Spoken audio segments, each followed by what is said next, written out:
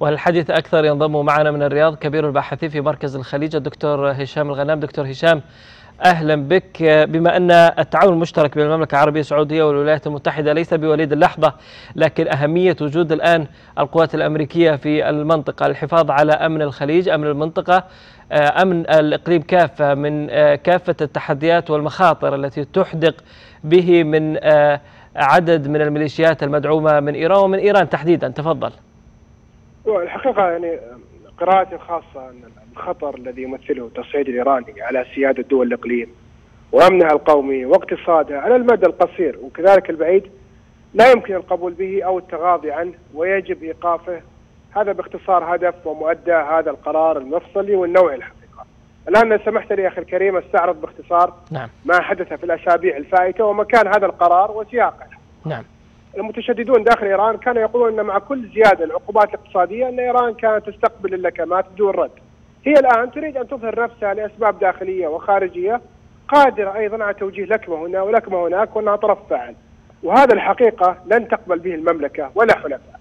لأن هذا التصعيد الإيراني يمثل خطرا حقيقة على السلم والاقتصاد العالمي. الآن ما هي حالة إيران باختصار؟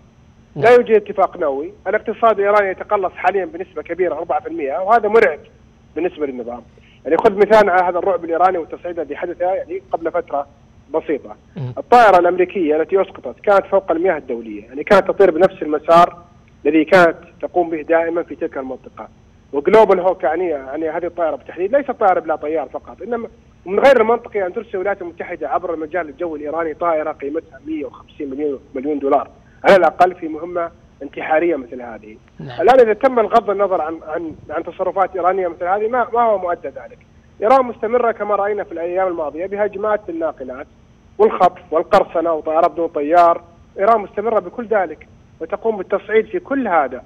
بقي الآن لديها بطاقة واحدة فقط متبقية هي سيطرتها على مضيق هرمز. وهذا أهم نقطة ومضيق في العالم. وهدف الإيراني سيكون هو إغلاق هذا المضيق، على الأقل مؤقتا لترسل رسالة أنها تريد التصعيد حتى تفك هذا الخناق الاقتصادي عنها.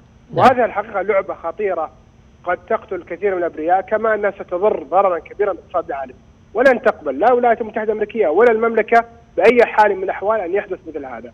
الآن إيران لديها مثلث الحقيقة متشكل من منظومة قذائف، برنامج نووي بإمكانات عسكرية تريد الوصول إليه، قدرات حربية غير متناظرة يعني تحديدا استخدام الميليشيات. هذه هي سياسة إيران في المنطقة.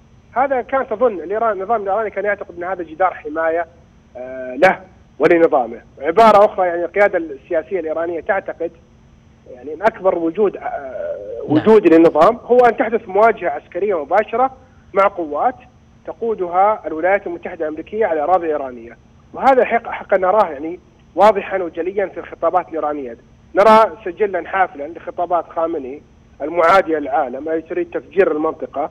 يقاطعها بين الحين والآخر حذر مدروس في لحظات حساسة وحرجة عند خوف هذا النظام على نفسه وبقائه.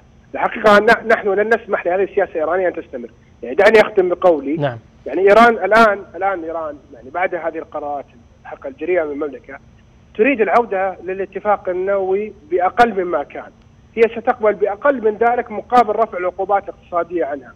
لكن هو الحقيقة المؤدى هذا القرار ومؤدى سياسة المملكة في المنطقة هو تحقيق ما يريده الحقيقة الخليج تحديدا من إيران وكذلك أيضا العالم من إيران، إيقاف تمد باختصار هو إيقاف تمددها في الإقليم، لن نسمح بهذا أن يحدث ولن ولن نقع أيضا في اللعبة الإيرانية أنها تهدد بالحصول على القنبلة لأنها لو حصلت عليها هي تعلم أنه سيكون هناك اصطفاف دولي كامل ضدها وستكون في موقف أصعب مما هي عليه الآن.